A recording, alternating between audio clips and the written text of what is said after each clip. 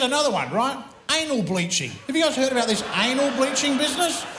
Someone's actually come up with a way to lighten the shade of the human anus. How fucking Kardashian is that as a problem, you know?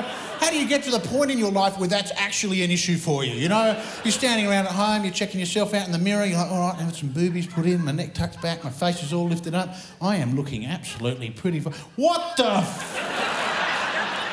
fuck is that horrible brown monstrosity? Just lurking back there. This area gets a lot of traffic as well. And then you find yourself sitting at home in front of the bathroom mirror with one of those fucking paint colour chart things, just going, oh, yeah, no. I don't think I'll go all the way to ceiling white. But I might stop at alabaster for a while.